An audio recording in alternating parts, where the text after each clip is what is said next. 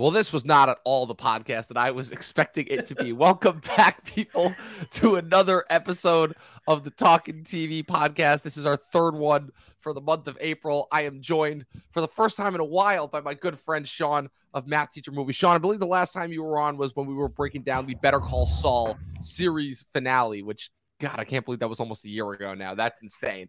But that is nuts that that's a year ago because I just Yeah. moved into my new house. So like, yeah, I was about to say, I'm, I'm like, I'm like, you got a, you got a nice little aesthetic going on back there behind oh, you. I this like is, uh, it. yeah, uh, grandfather's basement. Um, yeah, Nice, nice. Hey, at the very least, you're not like in, in like a compressed apartment anymore. Trust me, I, I know the That feeling there. Yeah, and we are here to talk about the third feature film from one of my favorite filmmakers ever. I say that with as much sarcasm as I can possibly put in there. Ari Aster, Beau is Afraid, which was re- which was uh, retitled from its previous title, Disappointment Boulevard. Which I'm like, when it had that title, I'm like, okay, this movie is just setting itself and everyone else up for failure. And Yep. now. I don't know. You, you have anything to say before we get into this? Because I'm just oh, like, just in regards to the title, I do think like, yeah, it's it's right not to name a movie a disappointment, but at the same time, that after seeing the movie, not that I'm saying the movie's a disappointment, but after seeing it, that title actually makes a lot of sense. it actually makes Like, a so lot I kind of- sense. I kind of like it better than Beau is Afraid. I get why they did it. Yeah, I I'm like, I, I'm just saying right off the bat, there's like in, in my never-ending shit, like like shit train on Ari Aster. Beau was afraid, not a fan of the title. But will that be the only disappointing thing about this movie? You guys might be surprised. All of that and more on today's episode of the Talkin' TV podcast.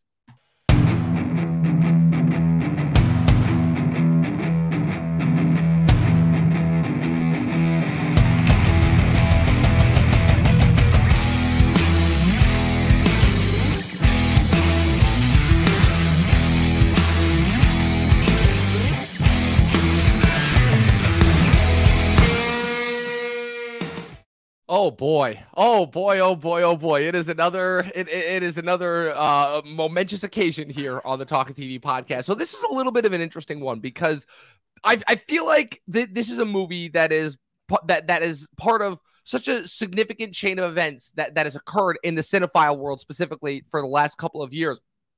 But it's the first time that we're really covering it on this podcast because I, I I believe that Chris and I have mentioned Ari Aster's first two films, which we unfortunately did not get a chance to cover on the podcast because we didn't actually start it until about a couple months after we actually saw Midsommar in theaters before. So, Sean, happy to have you back on. I'm glad that you were able to jump on with me this morning in order to talk about this. I figured you of all people would have just like a perfect way to describe just your feelings towards Ari Aster, towards his, towards his films. I wanted to start with you before before we got into and my complicated relationship, to say the least, that I have with him. So, first off, how you been overall? It's been a minute since we've had you on.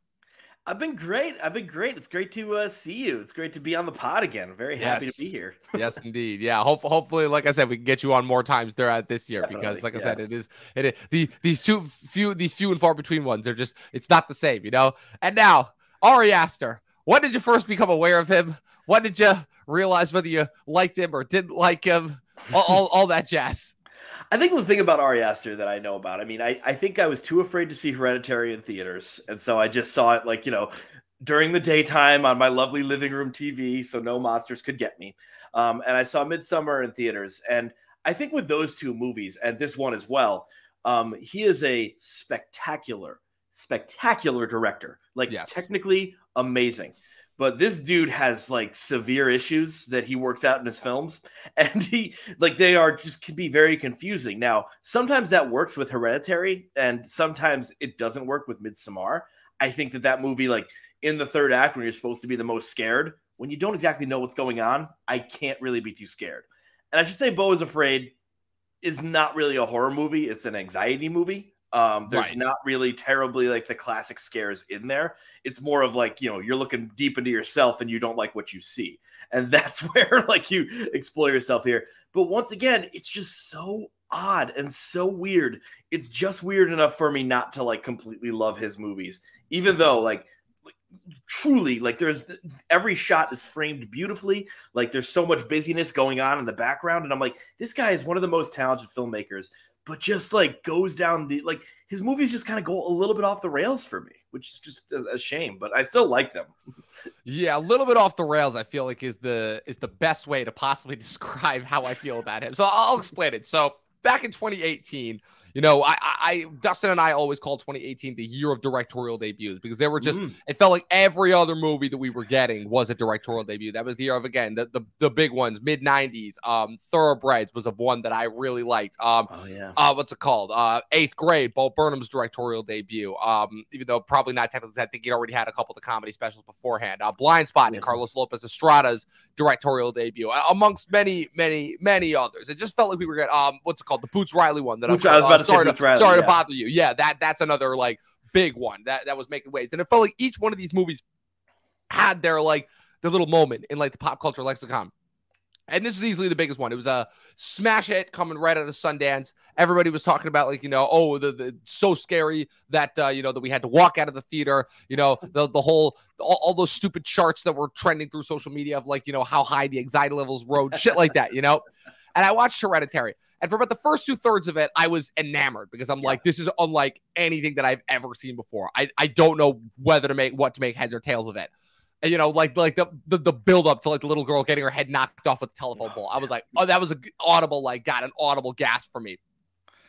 That's really, really entrenched. And I'm like, okay, I'm I'm invested. I, I want to know what's going on. I want to know if if is this a cult?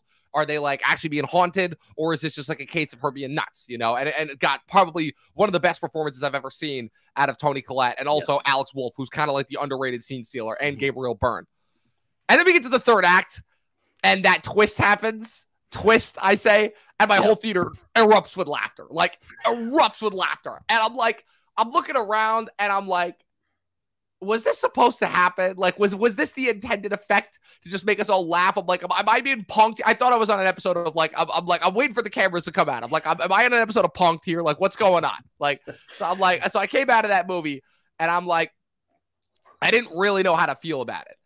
And then about a year later, I saw Midsommar in theaters, and from the open, unlike uh, Hereditary, uh, from the opening scene of that movie, I'm just like, after the opening scene, I should say, which was pretty compelling and pretty disturbing, I was just bored. I was bored, yep. and I'm like, this is predictable. This is annoying. I know exactly what's going to happen. These characters are like kind of even more one-dimensional than traditional horror characters, you know, like and, and like try to cast certain characters. And like the only gimmick, it, it's clearly like the in the Wicker Man, and the only gimmick that it's got going for it is the acid trip scenes, which are amazing and probably the most accurate that I've ever seen an acid trip sequence portrayed on screen before, and the fact that it's set during the daytime, and that's all it has going for. And it honestly, it was sort of, it was kind of fallen into a little bit of the trappings of, oh, is this guy just kind of overhyped? Because I will say, as a craftsman, he doesn't like very, very few others. Like I've, I've been talking over the last uh about a year and a half now about the new generation of film brats. You know that I've included such uh people like Ryan Coogler, like the Safdie brothers, like Jordan Peele. Uh, you know to name to name just a few. There's yep. many. Yeah, there's Robert Eggers is in there, and Ari Aster. I gotta say he has definitely earned his spot in there for sure. But my whole thing is it's like you could be a brilliant craftsman, but just in order to appeal to me, you have to like the movie has to like be enjoyable somewhat. And I'm like, I had one movie that I enjoyed two thirds of, and I had another movie that I just could do without. And so, needless to say, I was skept- needless to say, I was skeptical going into Beau is Afraid. I'd heard that he said, okay, this isn't going to be like a straight. I because again, the thing that he said what if he felt was going against both of his first two movies was that they were marketed heavily. A24 marketed them as horror movies. And he's like, I, yeah. I, I, can't necessarily say that that was my intention to make them all entirely horror movies. It's always his intention going into Beau is Afraid was like, yes, th- this is not going to be a horror movie. It's going to have some freaky moments in it for sure, but this is not going to be a horror movie. And I have to say that coming out of it, he definitely made a movie unlike anything that I've ever seen before, for sure. Like I, I could definitely say that. Now, whether it worked as a movie or just as a really, really well done visceral experience, I'm still trying to figure that out.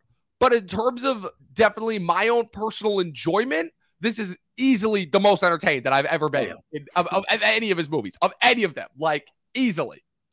I mean, it's genuinely funny and yes. uh, like in this like dark fashion. Um, but the, I just was so enamored by the chaos that he portrays, and I think it's easier to accept this movie as it is just like an issue of something in his head. Now, you know, obviously, this is the type of director that will never answer the question of is this all in his head or is this actually real right. and in a fantastical world? He doesn't want to incriminate himself. Exactly, and that's how most artists are anyway. Exactly. Right. Um, so, and, and listen, right. it's what David Fincher said best. He's like, "All I believe that all artists are perverts, and we have to keep reminding people of that." And I'm like, "Yeah, yeah you, you couldn't have said it better yourself if you tried." It helps that this guy like has severe like mental issues of anxiety and depression and so like when he's walking down the street and people are just like buying AR15s out of a stand and you know there's people charging at him that is like his own anxiety like just being portrayed right. on this so right. it's it's not as bad as he like looks it to be but it is just like through his own experience and therefore through our experience we face that anxiety which is i think was like the most brilliant aspect of this without yeah honestly look, looking back it's like it's pretty impressive because throughout the entire time uh, specifically that first act right? That's the other thing we should mention. This is a three hour long movie and i will say that for my money it there are certain points where i felt the length but for the most part it flew by and, and i, I, and I thought it was cut. i mean it was i wouldn't paced, know what to cut Right. It was paced very well. And I, once again, like every time you see one of these things, you hear there's a longer cut of the movie. And I'm like, oh my God, like, I can only imagine what that would include. But yeah, the, the, the thing that I was watching is uh, I, I, was a little bit of like a halfway point of like, is he trying to portray like, you know, his worries about the modern day, you know, in terms of like, you know, us devolving into chaos and us only, uh, uh, you know, just, you know, just devolving into this like, you know, dystopia where, uh, you know, people are just rioting on the streets and are just like, you know, making videos for attention and all that because they see that that's the only sport form of value anymore. And like this guy who's like so anxious that like he doesn't even want to leave his apartment. I'm like, is he like, I'm like, is he trying to make a statement or a commentary, or are these just like his own inner feelings, uh, uh, like of, of, of, dealing with like the last two years? And he definitely without doubt makes a statement on masculinity when it comes to uh, the like very last act and how he deals with his mother and like you know how he has dealt with sex this entire time.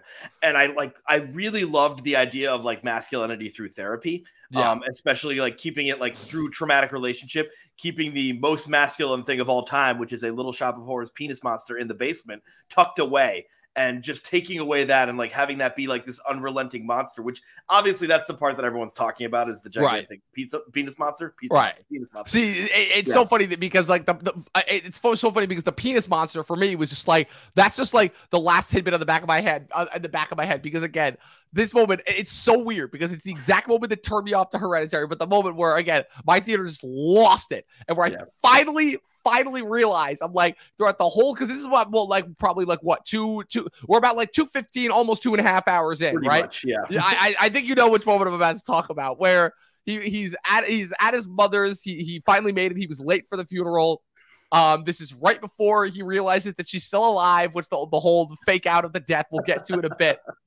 but where he meets up with Parker Posey, who is, you know, the older version of I, just need a minute in order to build up to this because this, thank God it was Parker Posey. By the way, what an God, amazing right? idea for a cast! This, this, moment was so ridiculous, and I was like, he's, he's finally realized it. it. it. was the Christopher Nolan Tenet moment where it's oh, like yeah. the machine has finally become aware. It took three movies and five years or six years, however long it's been since 2018, but the machine has finally become aware of what it is, which is it was so effing stupid.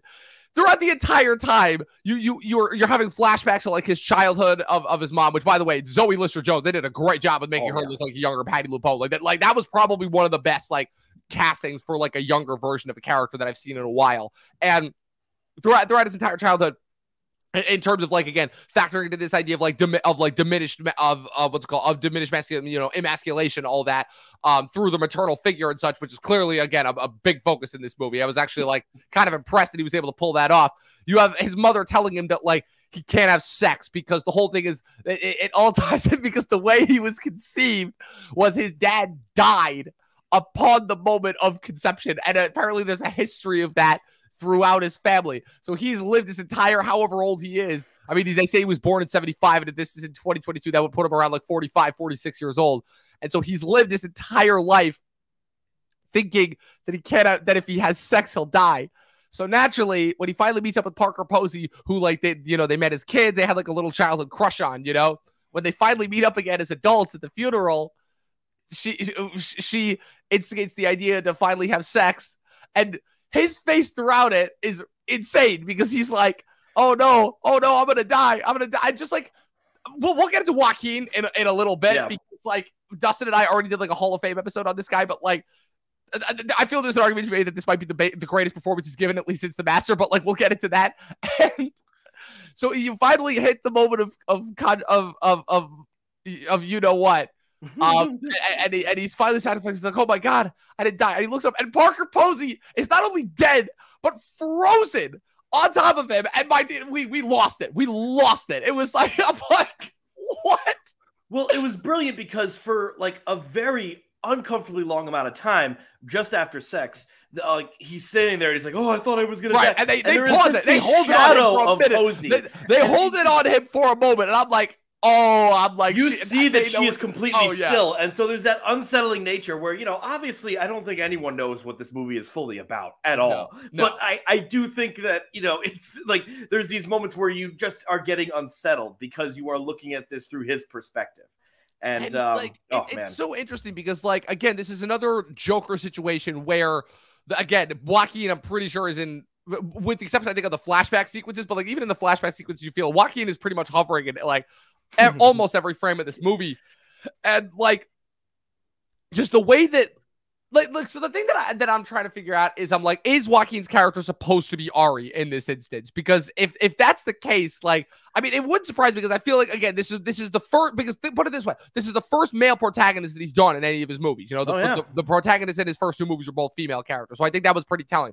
Also, this is the third instance where you have a main character that has like a somewhat messed up relationship with, oh, you know, yeah. with the rest of their family. You know, Toni Collette didn't have a good relationship with her mother, doesn't really have a good relationship with her son in Hereditary. Uh, Midsommar, Florence Pugh's sister murders her entire family at the beginning of the movie, and again, just we'll, we'll never forget that. So this is another instance of again, just like our main character having like a messed up relationship, where he's clearly shown at the beginning of the movie to be in this very, very toxic, controlling relationship with his mother, where again, it, to the point where it is just inhibited every single aspect of his life, and you see that you know as it continues as he goes on his journey throughout the movie, you know, with his meetup with the family and then seeing their whole dynamic and then with, with, with the weird theater troupe. And then once he finally makes it to the mom's house and everything that goes down there. And also like could we talk about how much of a fan of innate like uh, or or or uh, what's it called of uh, like innate architecture Ari is mm. because every single one of his movies, it's like it, it, aside from the movie set in the field, he's got he's got a really really good and unique sense of mise en scène and like and like production design. Even in the one where it's set in the field, like there's the the houses are like just perfect symmetrical right. houses to be like if Wes Anderson was on an acid trip, and so yeah.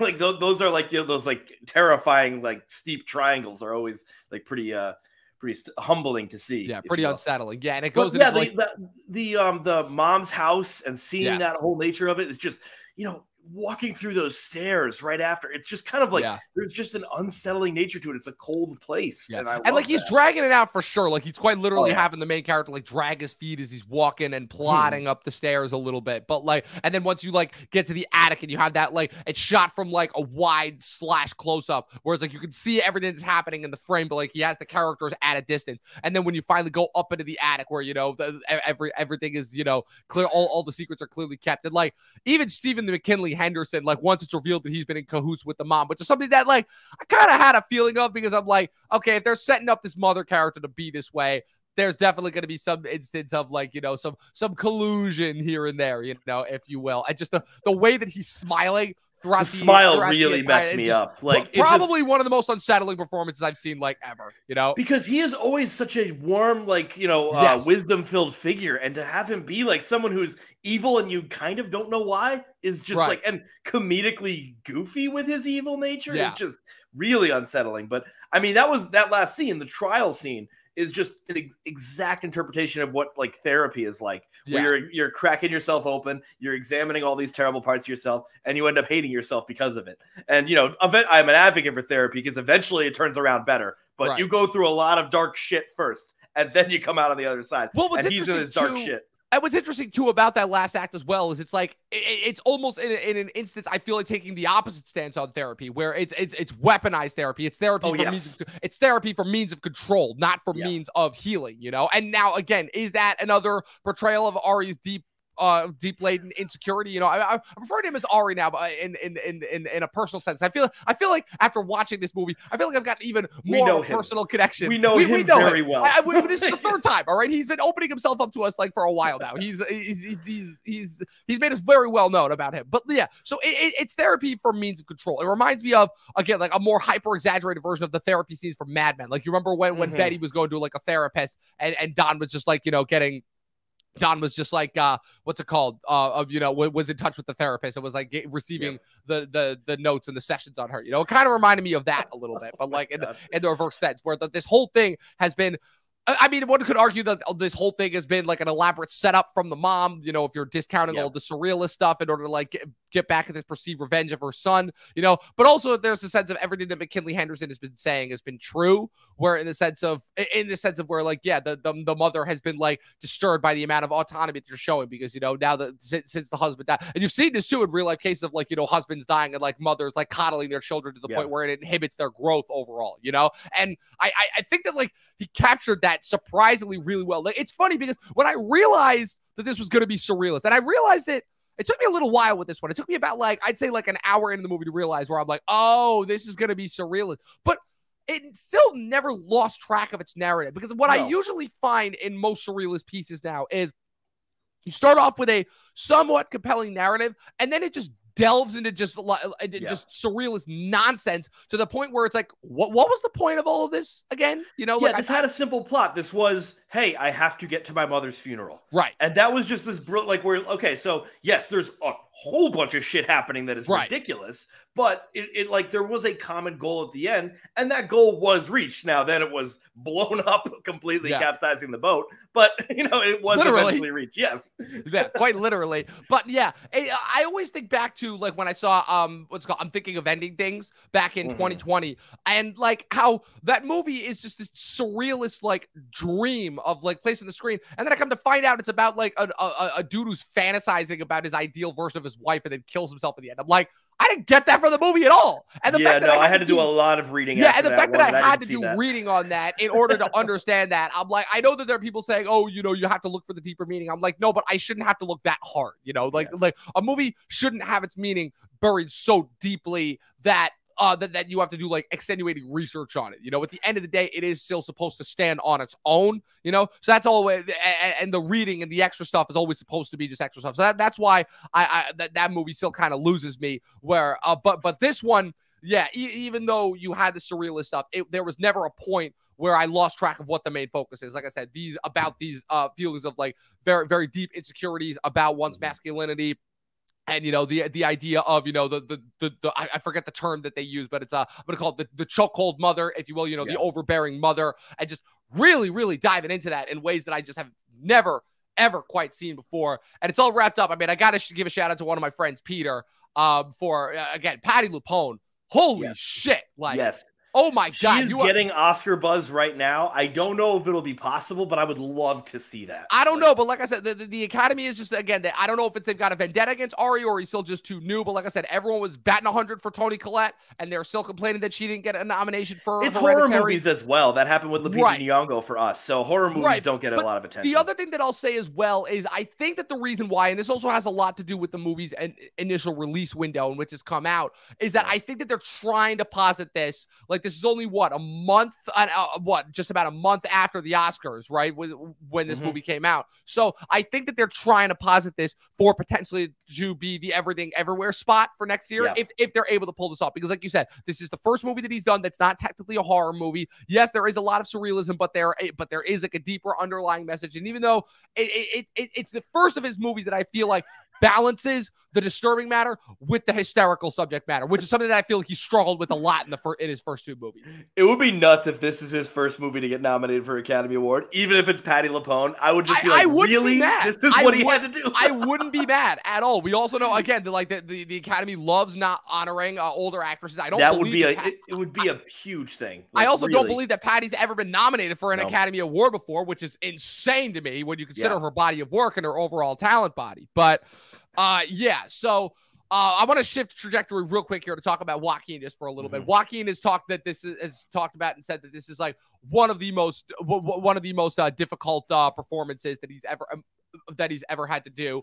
Um, and what's it called? It's interesting that like only two nights after um uh, only a couple only a couple days after Dustin and I did our Joaquin Phoenix Hall of Fame, in which we crowned the master as the best performance that he's ever done, and yes. also uh you know we we we both honor Joker in a certain extent.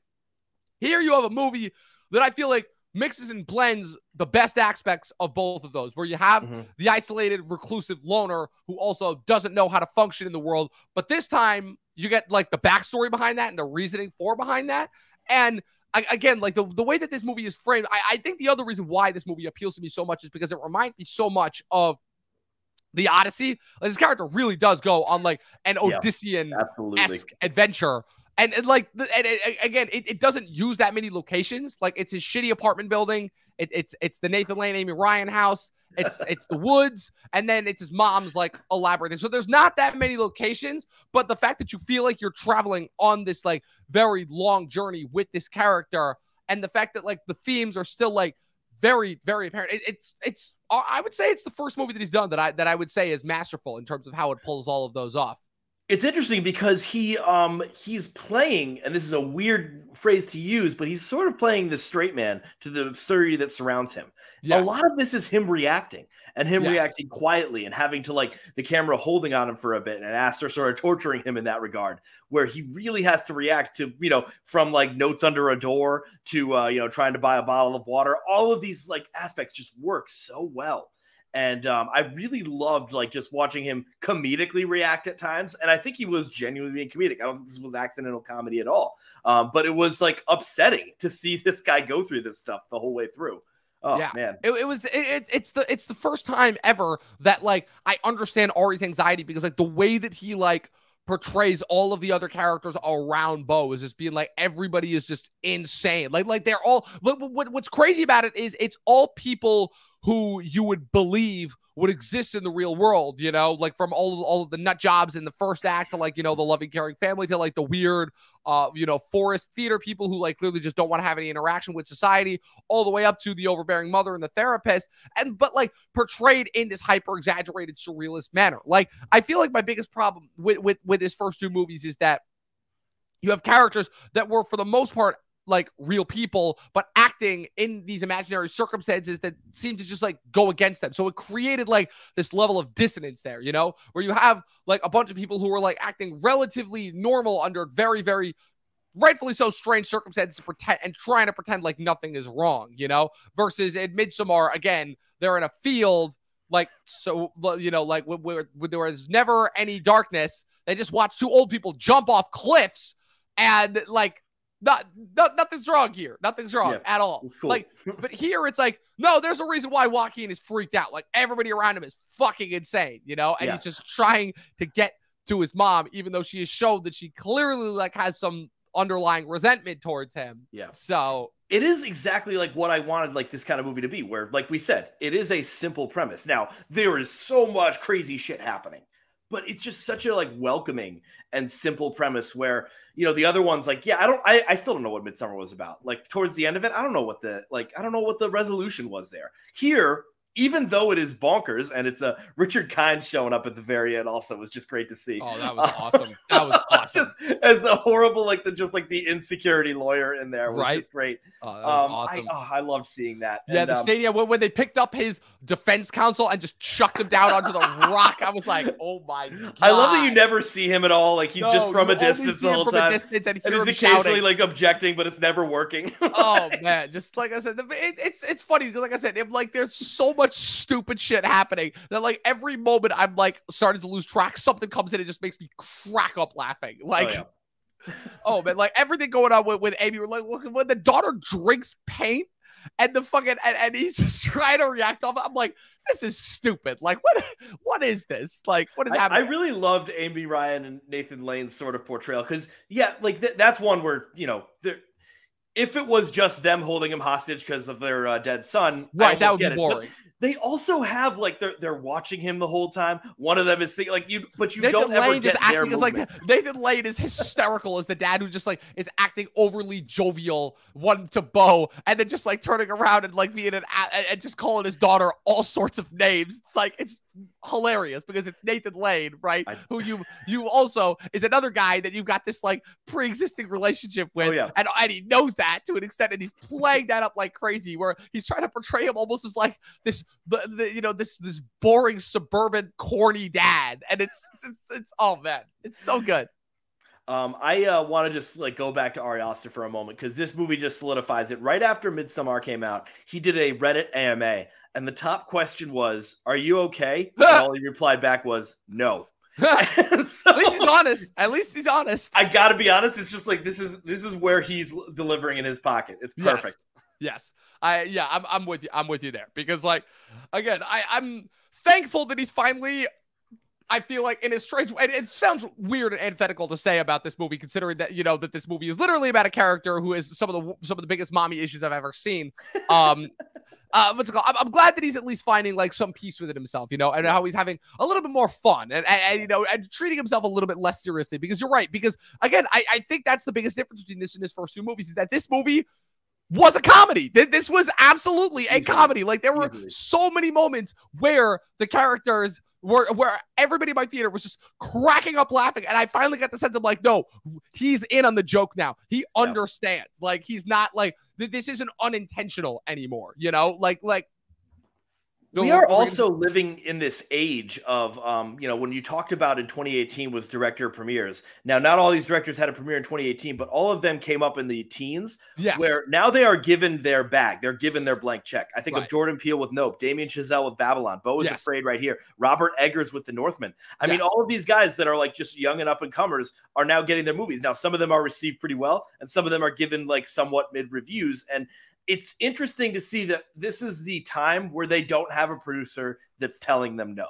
None of these guys are having a producer that's telling them no anymore. And I really love that idea where this is something a little bit more um, intense. And A24 and Blumhouse, where the majority of those filmmakers kind of live, Right. is, you know, these are people that will make them do whatever they want. They can they can keep on going. But Beau is Afraid is the like latest example of uh, yeah, this guy did not hear no at all. Yeah, I'm, I'm, I'm. I'm, I'm really glad that you brought that up because that, that's exactly it. Where again, w- I feel like that's part of the overall issue, and there was a little bit of commentary on that in this movie as well, with the idea of like, you know, where is all of the good art gone? And the, like I said, it's still around. It's just that there's much, much less of them. You know, being made into movies because a Yeah. majority of them have gone to TV, right? Yeah. But the ones that are still around, that are still sticking it out, like I said, the ones that are the auteurs, you're right. We're finally getting to that level where these guys have been around for a, a, a couple of years now. You like you said, Chazelle, uh, Coogler, Jordan Peele, um, this the the Safdies. You know, ar- arguably Uncut Gems was like probably their version of that, and now and now Yeah. they're doing stuff for Netflix. You know, so you're right. All these guys have been around, and you're right. It, it primarily is with Blumhouse and A24 because they because they they are the only two studios that in the modern day have figured out how to make some really interesting movies with a mid budget with a mid level budget. And I Yeah. will say that this is probably the biggest budget that he's easily had to work with. They gave him 35 million, but now whether this movie makes its money back or not, who knows? But I will say that You know, at least for my money, um, I think that while this, I don't know per se how well this movie is going to do in theaters because I, I unfortunately don't know how well Ari Aster, Ari Aster's name brand has grown outside of the cinephile community the way that certain others have. But I will say that this is probably going to be another one that's going to have like a very, very long cult like existence, Yes. especially once it hits streaming. Like once it hits streaming and, and everybody watches this, they're gonna. I, I'm I'm gonna be getting like I- I'm already anticipating like getting a bunch of texts like three months from now being like, Dom, have you seen Beau is Afraid? And I'm like, yes. So I saw It'll be it in on theaters Peacock or when it came yeah. out. Yeah, you you know I you you say- have your friends like yeah. that. This is getting this is getting a cream to the box office with Evil Oh, yeah. Dead Rise showing up at the same week. I mean, this is Yeah. just gonna get absolute. And then you know, there's still Mario Tale happening. Yeah, and, Mario, you know, there's th- that Mario Pope's train is not stopping at Like, all. The fact that Pope's Exorcist like got as w- did as well as it did just Well, opened up against Renfield, which was like a lot. I feel in- a All you weird way, like a a lot horror mo- movie now. less All you have to be straightforward a of a movie. movie. Yeah, And- and, April. April is like I'm like, and I'm looking back and I'm like, when did April become the month for horror movies? Like I'm looking at October and like I, I think that the, the only horror movie we have is going to be the, the David Gordon Green straight to Peacock Exorcist remake, which I'm like, oh, if it's anything like those last couple Halloween movies, Jesus Christ so is the only worried thing I have to that, say. man. I'm Oh, so- and oh, not to mention Saw X, right? What the, the 10th Saw movie or something like that? Like, I don't know. I might have to torture myself and watch all the Saw movies next. You know, I did it with Halloween. I, I think that's one where you don't exactly need the plot of all the different Saw movies to understand what's happening in Saw 10. I think I think Yeah. stuff kind of fills in. Yeah, Like, I saw uh, I saw that spy we saw that spiral movie with Chris Rock a few years ago, and that was that was easily one of the one of the best podcasts ever for one of the worst movies that I've that I've seen like in a in a long time. I remember I kind of liked that movie, but maybe because I just didn't really understand what. yeah, I was about to say I don't I don't think anybody likes that movie for like the actual quality of the movie. No, no, no, no, no. Not it at all. fascinating. Right, for sure, for sure. So speaking of which, uh, did you get a chance to watch Evil Dead Rise or no?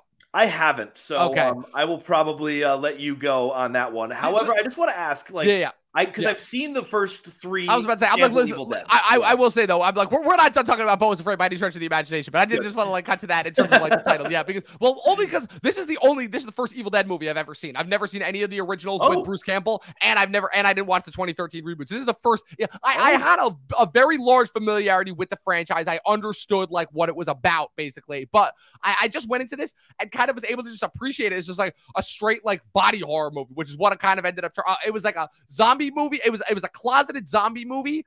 Uh, sorry, a bottle zombie movie. That's the term I keep uh screwing up. A bottle zombie movie meets a really interesting body horror movie, and probably the best like mix of like practical and CG effects that I've seen in a while. I'm like Right. not some of the best performances, but just in terms of like Yeah. just bloody disgusting subject matter. It was it was a rip roaring it was a rip roaring good time for sure. I'm, I'm just like uh, with this one and Pope's Exorcist coming out so close together. Yeah. it's like I, I just realized when I saw those trailers, it's like I'm not really that scared of the devil anymore.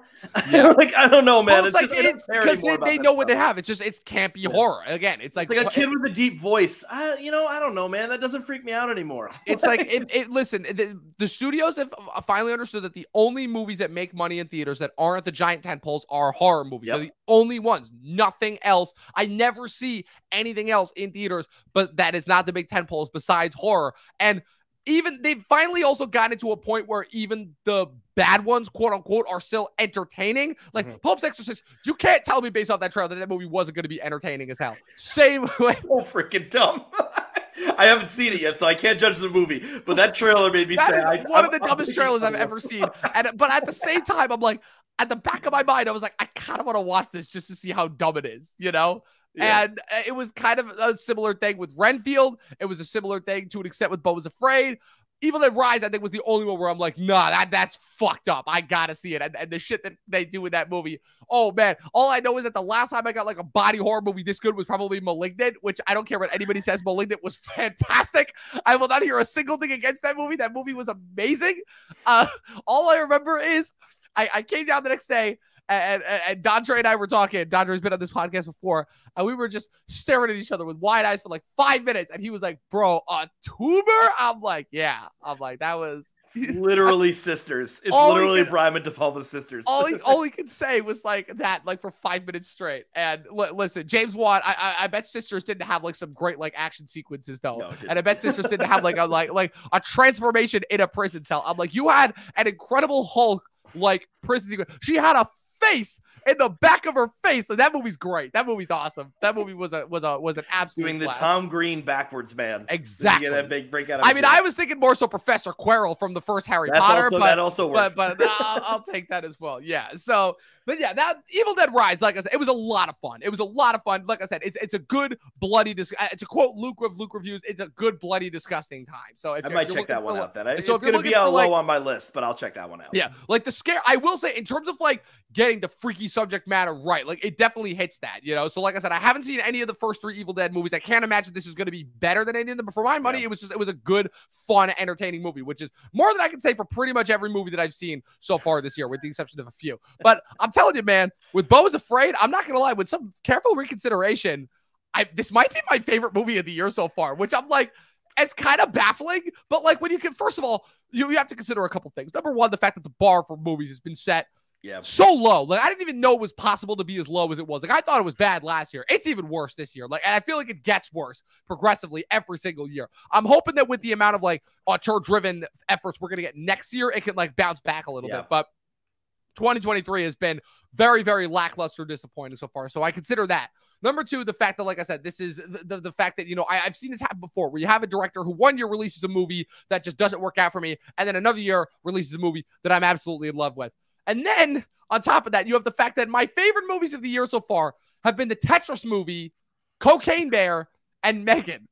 Those followed closely by the Super Mario Brothers movie. If that doesn't tell you about like what the caliber of movies just released in 2023 alone, then I don't know what does. So like, I think Megan is the most important movie of the year. Truly, it's like, amazing. I, Listen, it's, we, has we any other movie of a horror franchise? Has any other movie been as viral as Megan has been this No. year?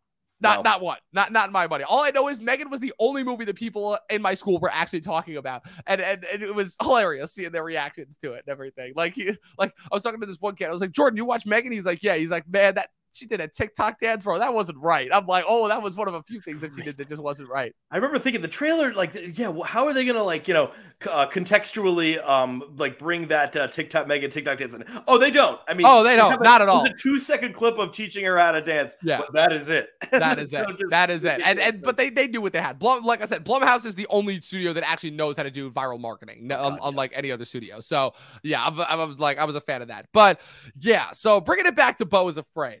Um, I feel like there was one other thing that I wanted to talk about. Uh, but, but besides her, oh yeah, so the ending. So he's in a boat and it's in the middle of a lake and it turns into like this big so i what's interesting is that one could make an argument that this is all in his head yeah.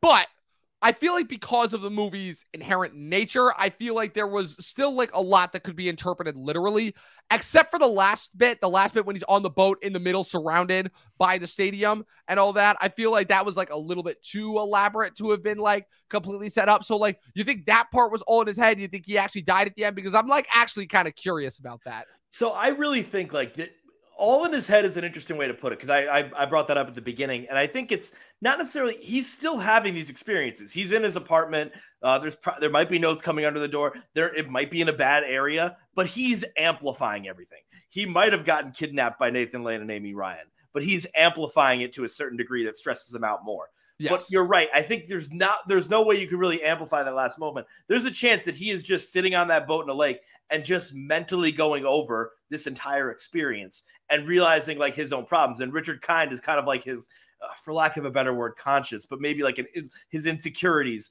um, studying like you know all the like crappy things he's done, and that's like his guilt. Now you know whether he officially dies, um, or just like the guilt sort of assumes him, which is not a word, but I'm just going for it. Um, I it's it's yeah, it's really interesting. I, I just think there's so much of this that is amplified in his head without a doubt. Yes. Yeah, for sure. And like that last bit, absolutely. I think I think it's a great way that you put it where like the whole last that last bit specifically could be interpreted as a metaphor about just like his own deep insecurities and rumblings about how like his mom like finally got to him, you know, even though it- it's so interesting where even when the movie is providing ample ample evidence that he is not at fault, it is still trying to cast him as being Yeah. at fault. And I, I and, and I'm like I, I don't necessarily understand why. I'm, I'm like, is he just like that?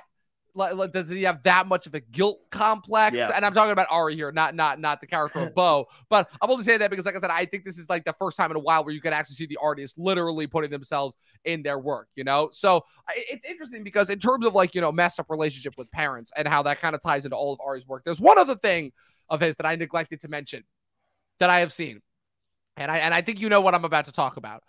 It is the short film that he oh. released in 2011.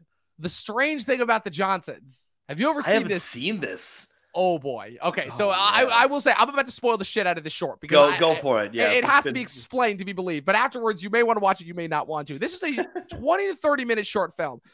And I remember I, I was sitting in my house and living up there, and I was like, I have to paint the picture here because this is this is gonna be this is gonna be absolutely ridiculous. And uh, and so I'm sitting there, I'm chilling with, with, with Dontre and our other two friends, Noah and Josh. Josh has been on the podcast before, and we're chilling there, and you know we're, we're watching YouTube videos, and Josh's like, "Hey Dom, you you know Ari Aster, right? You know of Hereditary and Midsommar." I'm like, "Yeah, I know him. Why?" He's like, "You ever see his short film that he did? The strange thing about the Johnsons?" I'm like, "No, I haven't." They put it on.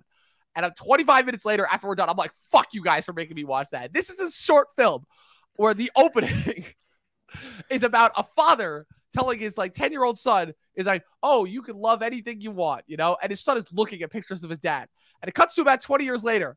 And this, and you have literally had the dad uh, who is now has the most gaunt, just depressed look at his at his son's now wedding photo pictures. You know, they're they're they're, they're taking the pictures for the, for his son's wedding, where his son for the last 20 years has been openly molesting and sexually assaulting his father. They even show a scene and like it's insane. And like they show the scene openly and vividly. My jaw is on the floor the entire time. The other guys were laughing hysterically at me.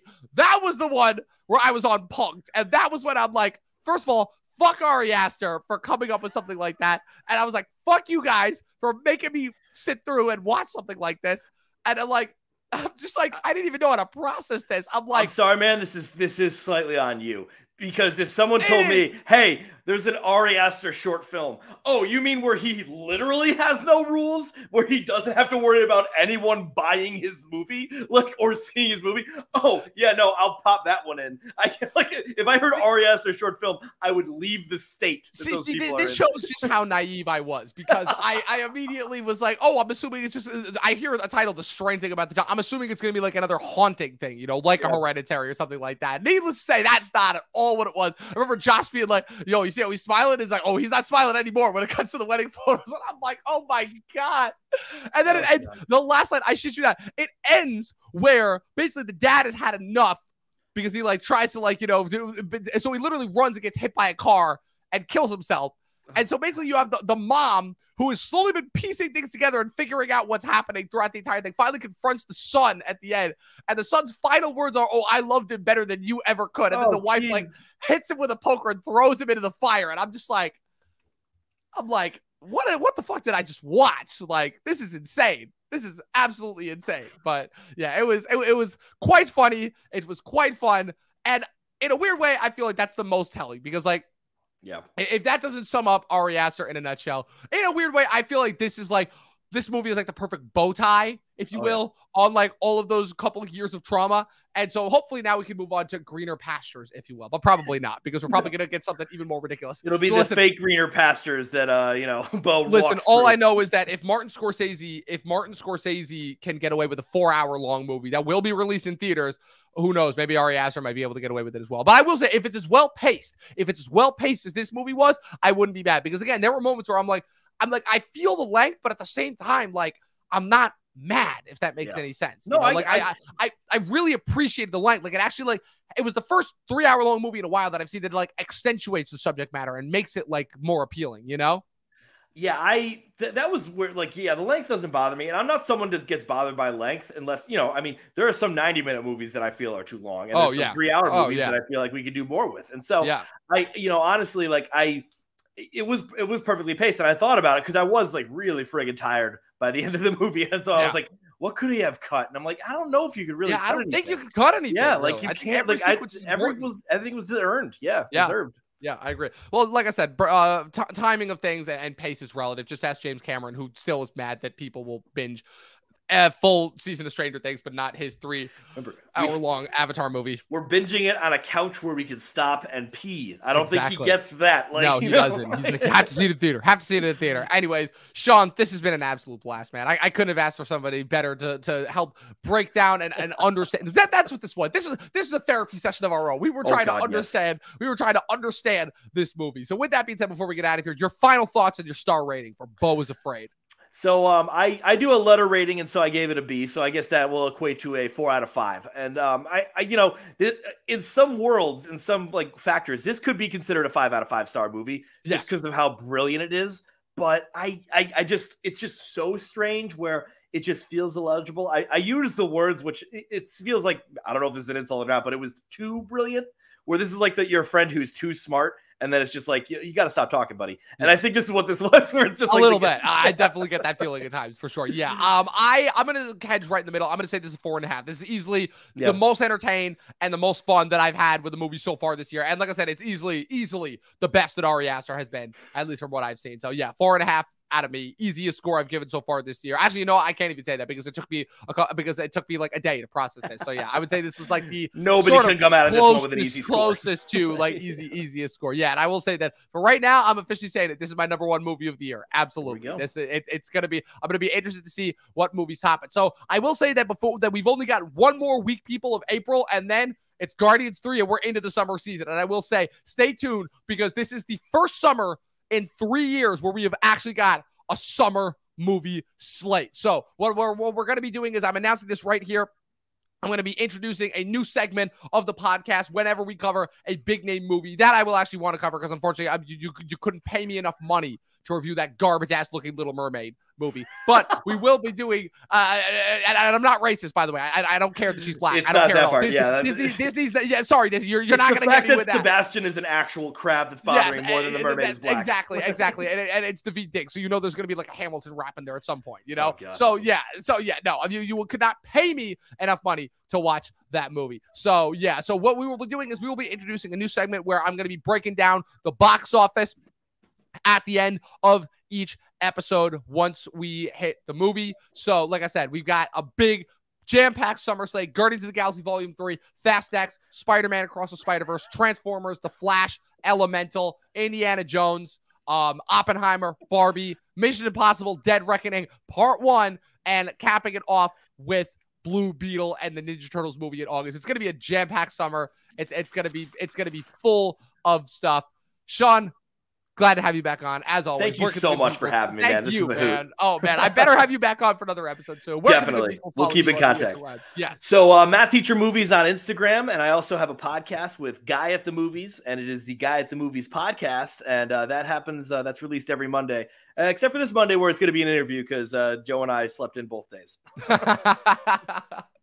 well, like I said, uh, what's it called? You know, consistent schedule never hurt any, n- never hurt anyone. Also, when am I going to come back on the podcast? It's been like a year now, I think. Oh well, yeah. Well, that was back when our uh, interesting little uh, Patreon we did where you came on for uh, Jurassic Park. But That's uh, right. Yeah, and no, I, and I yeah, shat like- all over that movie that you guys relatively liked. I, I, I- yeah, I was a little bit mid, but um, I um, uh, I don't know. Like Joe, Joe's the good good with the guess. Guess I'm always the one that's just like you know, Joe. Here's like eight names I have, so like bring these on, Yeah. and then Joe just tells me when guests come on. So definitely look at him with that one. Sounds good. I will get in touch with them as well. And of course, you guys can follow me with everything I've got going on at Movie Nerd Reviews across all platforms. Be sure to follow the official Talkin' TV podcast across all, across all platforms. Be sure to subscribe to us on YouTube. Follow us on Twitch. This episode will be available on Spotify tomorrow. Follow Sean with everything that he's got going on. As always, people, 12 seasons of short film and watch more fucking movies. Definitely in this case. We'll see you guys next time.